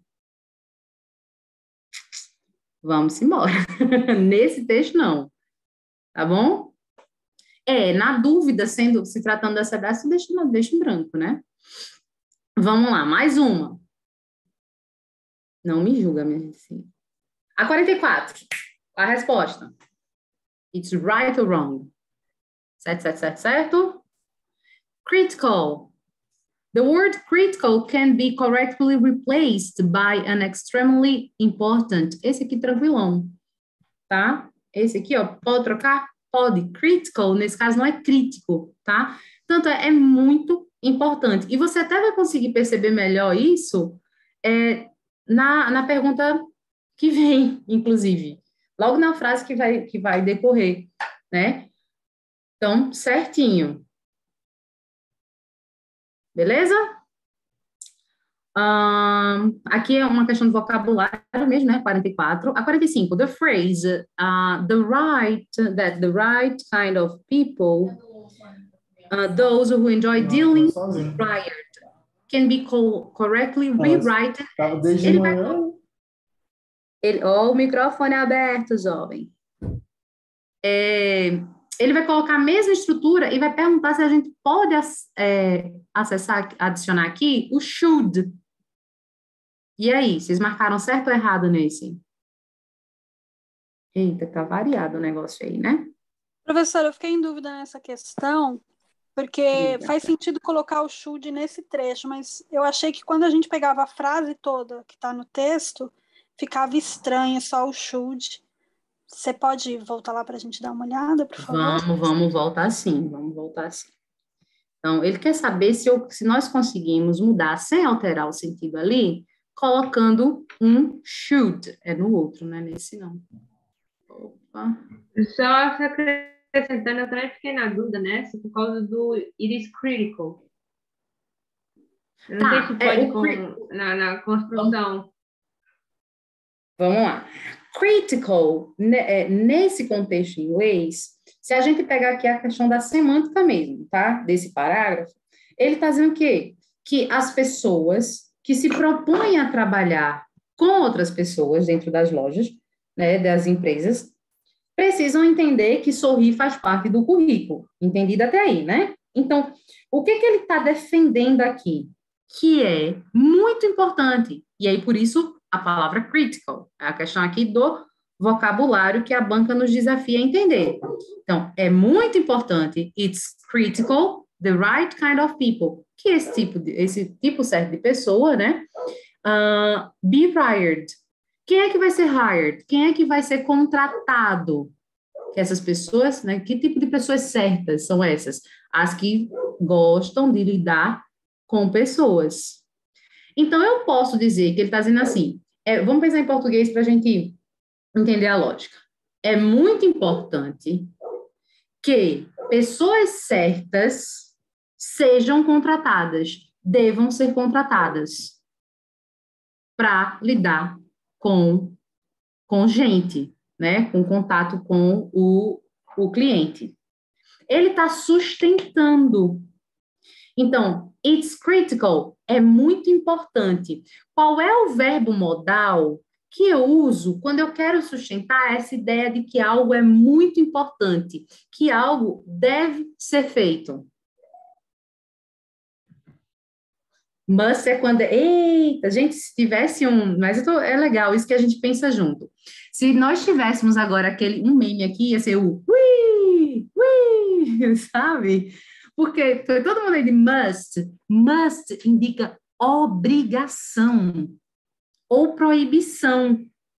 Quando eu tenho ideia de conselho, de que algo deve ser feito com a ideia de conselho, que é o que ele está fazendo aí, ó, é muito importante, aí eu tenho ideia do deveria. E isso já, já caiu a ficha aí de alguns. Então, o modal não é must, porque must, anota aí, must, obrigação. Tanto é que o must na negativa é proibição total, ele é o 880. E o should é a ideia do conselho. O que, que ele está fazendo semanticamente, se eu interpreto aqui esse, esse parágrafo?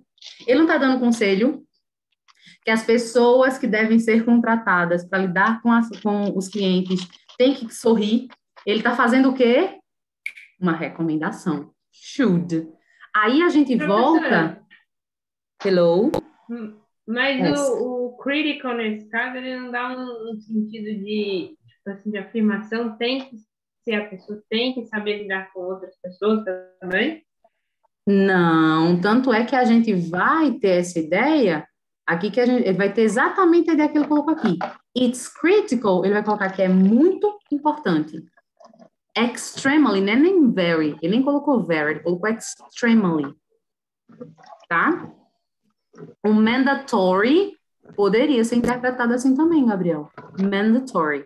O critical aqui ele vai ter, não vai ter ideia de ordem, porque vamos voltar ainda lá na construção do texto. É um texto dissertativo uhum. argumentativo, lembra da estrutura. Apresentei minha tese, defendi, vou argumentar aquilo ali. Nesse argumento, o que ele pode fazer é dar conselho. Rapaz, Se você lembrar lá da sua redação do Enem, você vai lembrar que você. Opa! Se falou alguma coisa, eu não ouvi. Eles estão conseguindo ver? Vocês estão conseguindo é ver? Tem alguém com o microfone aberto. Eu não falei nada. Então, só me tirar a dúvida, porque aí, então, não necessariamente quando eu tenho a construção it is critical, quer dizer que é por certeza. Ou não. depende do contexto? Depende do contexto. Tá, então tá, porque eu tinha na minha cabeça que is critical é necessariamente uma certeza. Por é, isso eu tudo, teria, ó, eu tudo, teria a dúvida.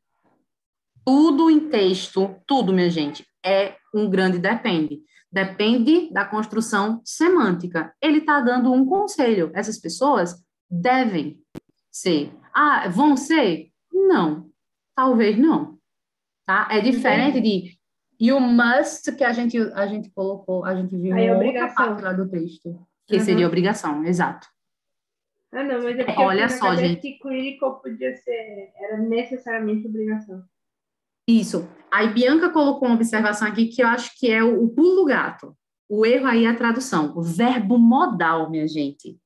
É um dos poucos assuntos, assim, do não traduz. A possibilidade de dar erro com verbo modal é muito grande. É melhor você entender o que cada um deles quer, quer dizer, tá? A galera aí da, da... Quem não gosta de traduzir, tranquilão. Agora, para quem não está seguro na língua, principalmente você está assim, ah, eu não, não tenho certeza.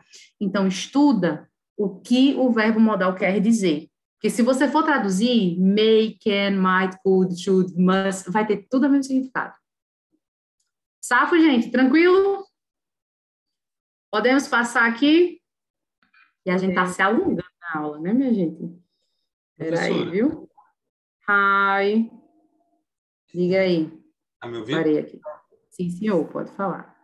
Eu só fiquei com uma dúvida na questão 41, é que sumiu da tela aí agora. Foi, eu vou, projet... ah, procurando de novo para projetar, diga aí.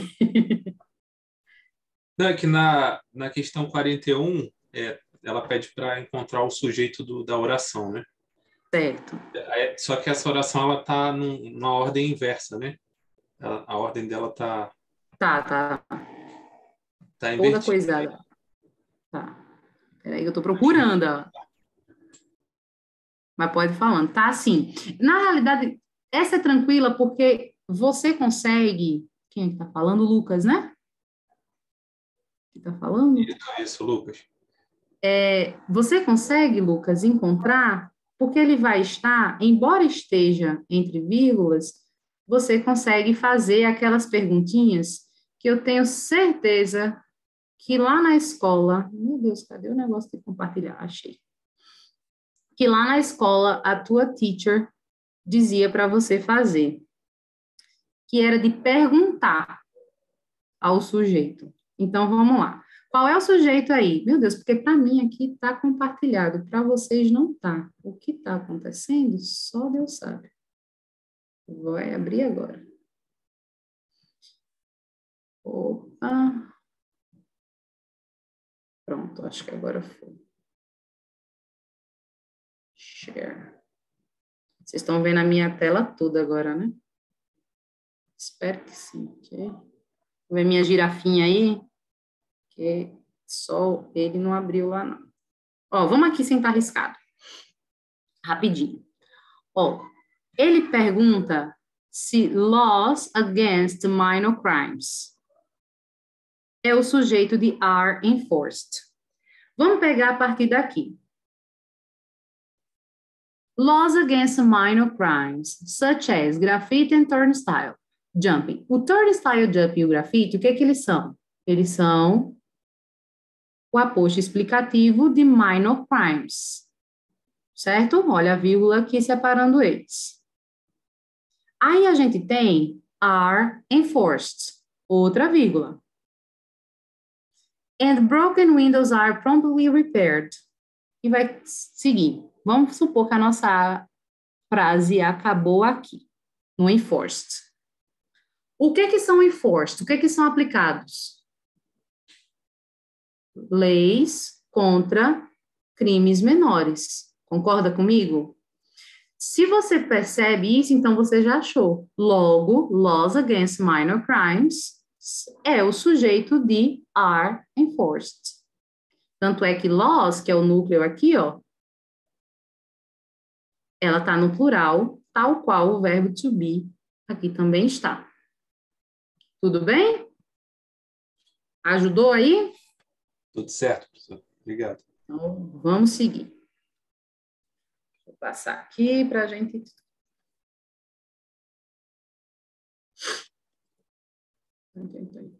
Foi. Agora vamos lá. Essas daqui, vamos ver se a gente consegue ir, porque essas são sobre ideias gerais do texto. Essas que tem, que começam com, o enunciado começa com It can be inferred. Gente, inferência, aqui é que está uma questão que você precisa prestar muita atenção, porque aquilo que é inferido do texto passa pela sua compreensão geral do texto. É diferente dessa outra questão que a gente fez, que tem lá exatamente até a linha onde você vai buscar e depende também do teu conhecimento de vocabulário e de gramática. Aqui é se você entendeu a ideia do texto. Então, vamos lá. Ah, vamos para 26, tá certo? Vamos lá, 45 era certa. Opa. Na 26, broken windows relate to negative aspect of a place or business. E aí, o que, que vocês colocaram nessa? Me ajuda aí.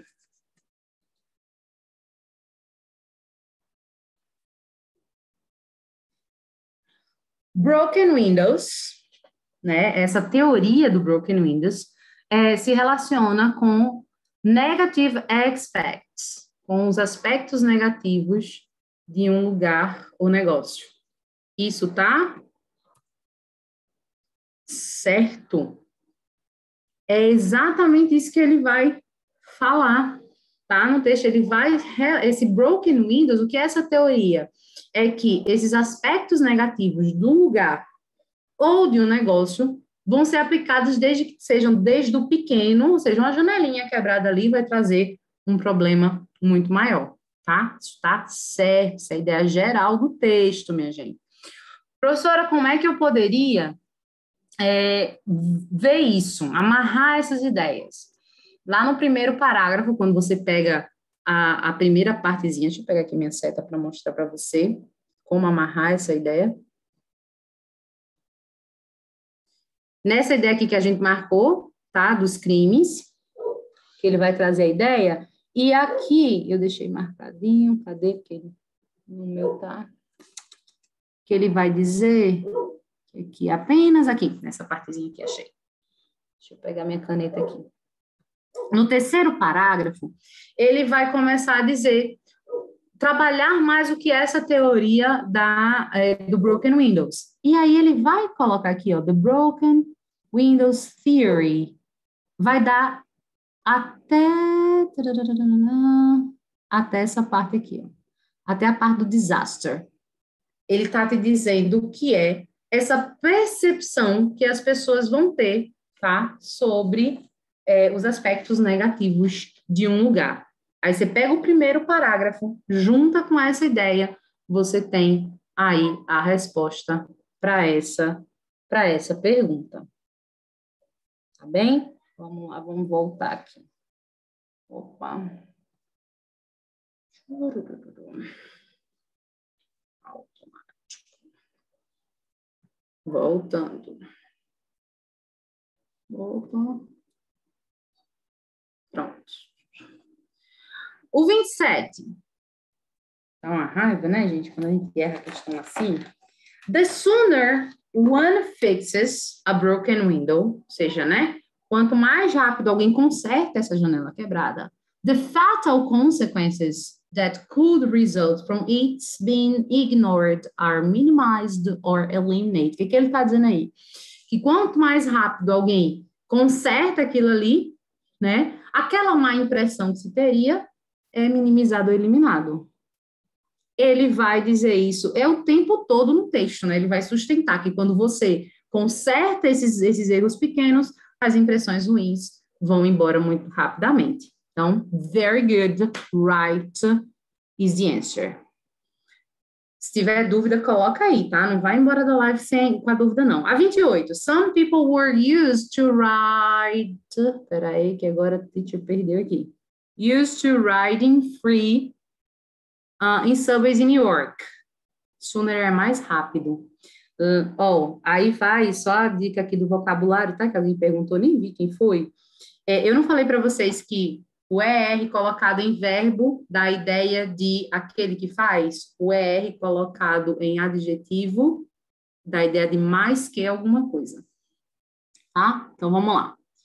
Uh, some people were used to. Aqui tem uma expressão legal. Quando a gente tem o verbo to be junto com a expressão used to, significa estar acostumado a, ter o hábito de, tá? Então, some people were used to riding free in subways in New York. Então, o texto fala isso?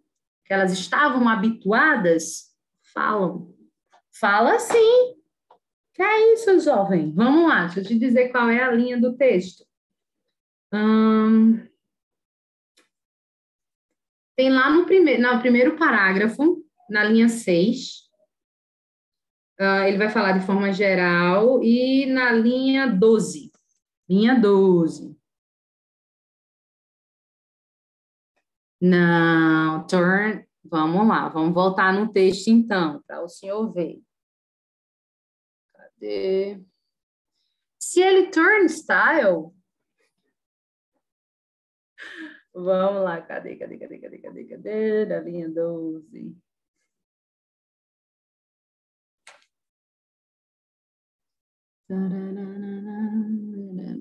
Ai, meu Deus, cadê o texto? Eu quero o texto. Ah, porque eu tô com a setinha coisada aqui. Vamos lá. Nova York.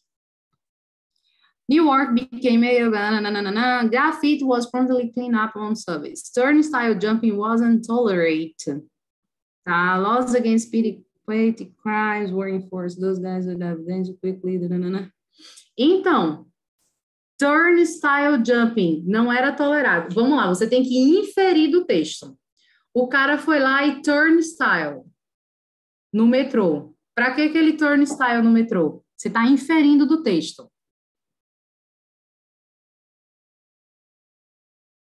Vou deixar você pensar. Entendeu? Se ele turnstile, estava acostumado a pular, era para quê? Para riding. Então, vamos, vocês prenderam no quê? Não. Ele vai falar que o grafite tem a ver com o, o vagão do metrô. Mas o turnstile, se a pessoa pulava a catraca do metrô, minha gente. Entendeu? O crime estava em andar, do, andar de metrô. Lembre-se, vamos voltar para a questão aqui rapidinho, só para dizer uma coisa, que eu imaginei que essas questões iam dar algum tipo de polêmica. Ó, oh, Cadê, cadê, cadê? Aqui. Vamos lá. Presta atenção no que diz. Espera aí, tem muita gente falando. Presta atenção no que diz no enunciado. Ele está perguntando o que pode ser inferido do texto. O que é uma inferência? Inferir é você concluir a partir de alguma coisa. Olha, Igor me ajudou um bocado agora. Se alguém está pulando a catraca, está turnstile jumping no metrô, o crime em si não é pular a catraca. Para que, que ele está pulando? Você vai inferir daí. Você vai concluir a partir do que o texto está te dizendo. Entende? Então, vamos lá. Sem polêmica. É que o texto Eu me perdi aqui no, nos, crime, nos crimes de vocês, nos comentários de vocês. Nos crimes de vocês, não, minha gente, sorry. Nos comentários de vocês. Tá certo? Me diz aí se quem estava com a dúvida entendeu. Mas, ó, ó, ah, mas é, se podia pular catraca em outro lugar. Não, o texto não está falando, não dá uma viajada. Você consegue inferir a partir da ideia que foi dada lá. O texto falou de ônibus? Não falou? Cuidado para inferir, mas inferir com cuidado no que você vai inferir, para não dar uma viajada e ficar esse negócio de ah, some people é igual a algumas pessoas. Sim, tá? E aí? Tranquilo? Então tá certo até aí. Peraí, deixa eu ver o que, que o Murilo tá falando. Tá pedindo um por favor aqui, eu não vi ainda. O que foi, Murilo? Eu te perdi ali. To ride. Ride é andar de. Ride pode ser. É, ride tem a ver com moto, com carro, com ônibus, pegar carona. Tá? Num, bom português, seria andar de. A inferir aqui, ó, pode ser inferido. O que é fazer uma inferência? É você, a partir de um contexto, concluir algo. Tá bom? Vamos lá. 29, 29. Uh, windshield cleaning was illegal, and that's the reason violators were arrested. Hum, todo mundo concordou nessa? Que bonitinho. Essa tá errada. Essa tá errada. O problema não é limpar, não é o windshield. O problema é o jaywalking. A ideia é o problema é passar, é atravessar fora da, da faixa. Yes, jaywalking was the reason to the violators were arrested. Certo? E o Tori? Como é que ficou Tori? Quality customers service seems to be the key to loyal and confident customers. Ele vai falar disso sim, que a qualidade dos serviços, ele inclusive usa as mesmas palavras, isso dava para a gente fazer uma pescaria lá no, no, no texto, né? Deixa eu achar aqui a linha para vocês para dizer qual é a parte que ele fala sobre essa partezinha. Se tu me achar aí primeiro que eu, tu pode me ajudar. Ele fala lá que é confidence, lá na linha 25, tá? Começa na 22 e acaba na 25. Ele vai falar exatamente sobre isso, tá bom? Entre as linhas 22 e linhas 25. Ele fala aí a resposta da questão 30. Tá? Tô falando sobre ela agora, tá? Murilo, você consegue encontrar. Ele vai dizer exatamente que quando as empresas dão aí essa ênfase à qualidade do serviço, acabam é, ganhando a confiança e a lealdade dos seus clientes. Alright? Então, let's go. A 29, vou repetir. É, ele aqui está dizendo que o problema, né, era que era ilegal limpar a, os para-brisas. Não era esse o problema esses violators, né, o, o, esses homens, esses guys, eles foram presos. Por que que o texto vai dizer? Uh, on the grounds of jaywalkers, jaywalking. Você vai encontrar essa resposta na linha 16. A 29 você encontra na linha 16. Let's go? Podemos continuar? 31. O que, é que vocês colocaram?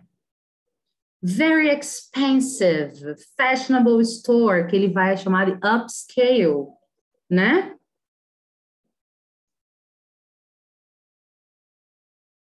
Tá.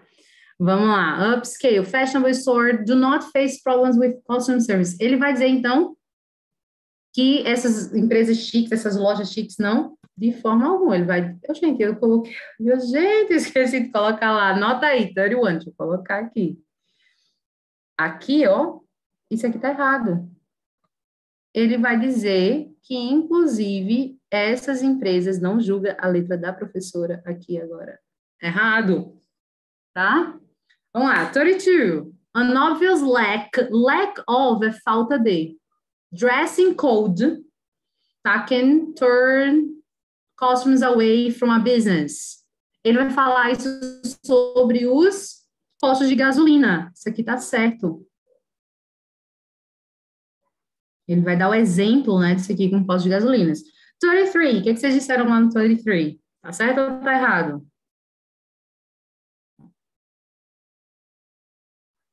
E aí, time and money spending uh, training employees on how to deal with people really pays off. Pays off é uma expressão bacana, quer dizer, pay off, quer dizer, vale a pena. Essa expressãozinha aqui, ó, tem no final.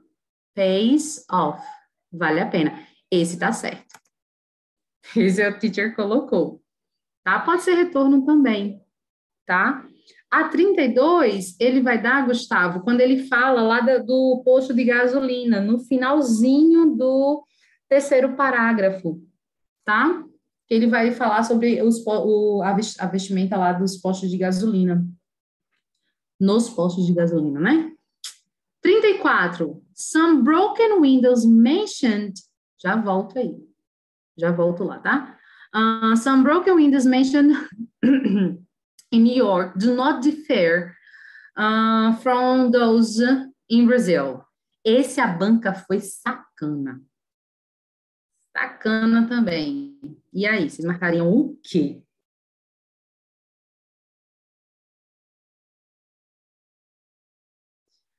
Olha só. Esse aqui, ela, nem sei se eu coloquei, deixa eu ver se eu coloquei. Ah, eu coloquei. Eu coloquei depois isso está certo. Eu discordo da banca. Eu devo dizer a você que eu respondi essa. Eu respondi essa. Levei para. Eu fiquei. Vou ser muito sincera com vocês, porque assim, em momento nenhum o texto fala do Brasil. Calma, calma, calma. Em momento nenhum o texto fala do Brasil.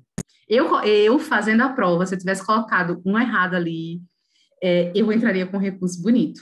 Porque, para mim, para mim, teacher Polly, né, na fila dos recursos, é, o texto, essa pergunta extrapola o que tem no texto.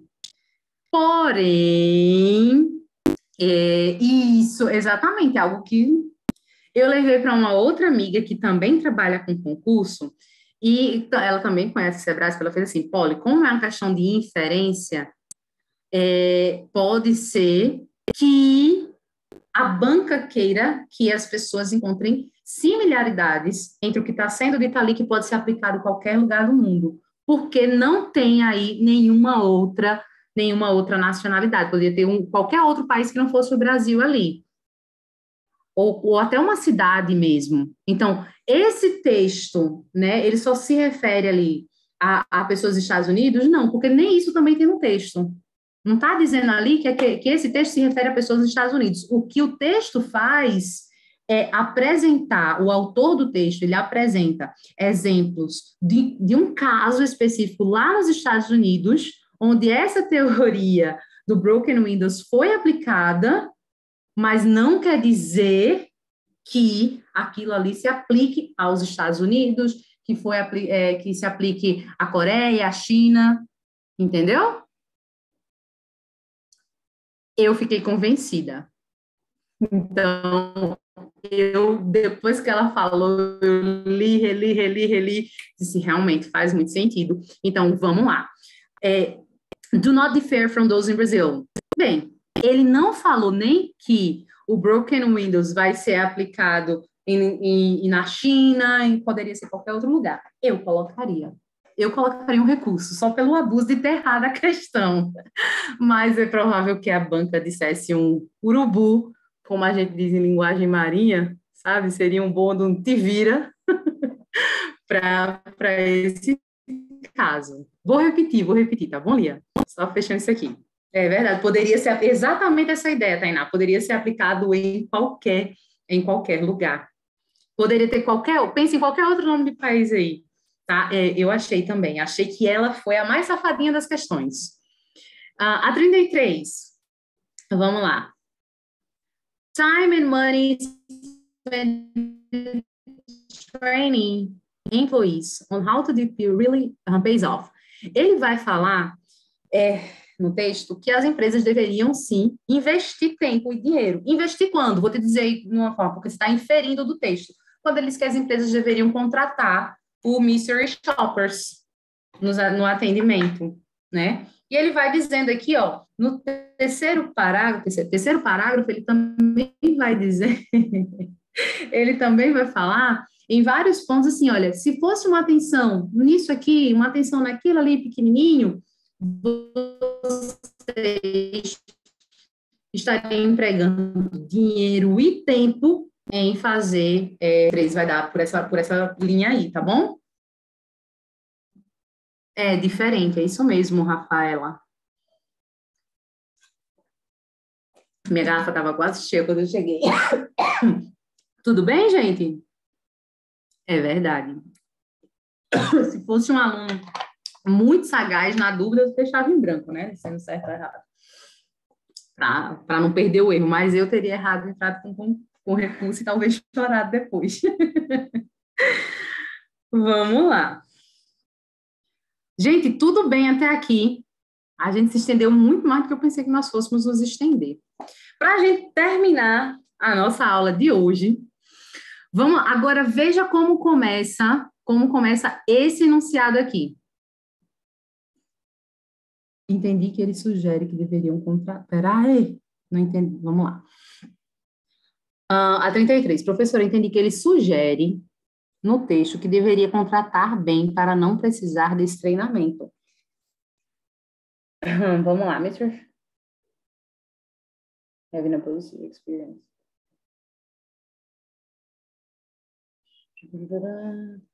No terceiro parágrafo, que é a parte maior, lembra que a gente está inferindo ele não vai dizer que ele deve, que é antes da pessoa chegar. Ele está dizendo que é durante, enquanto o empregado já está lá. E aí ele vai te dar uma frasezinha que vai matar melhor. Deixa eu ver aqui, quando ele diz assim, na linha 22, Amanda. É Amanda, meu Deus? Não, é o Renan. Na linha 22, ele vai dizer que é uma obrigação do dono da empresa e do empregado gastar tempo com isso, tá?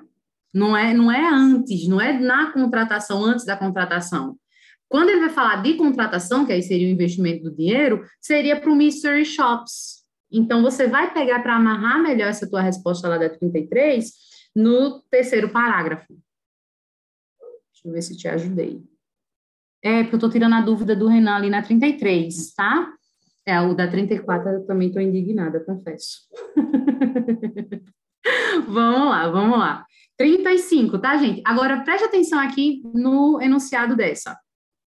No enunciado dessa tem o quê? According to the text. Quando a gente tem um according to the text, aí não tem interpretação certa. A tua resposta está no texto. Então é muito mais tranquilo de fazer. Vai ser tipo a, a, as primeiras questões que a gente respondeu. Que tá lá no texto, né? Então vamos lá, 35 diz assim: Customer service and the image presented by the business is a concern solely apenas, né, unicamente of the business owner. Ah, acabei de responder essa. Injusto. de acordo com o texto, acabei de dizer até a linha em que tem a resposta disso. Qual é a linha que tem essa resposta lá? 22.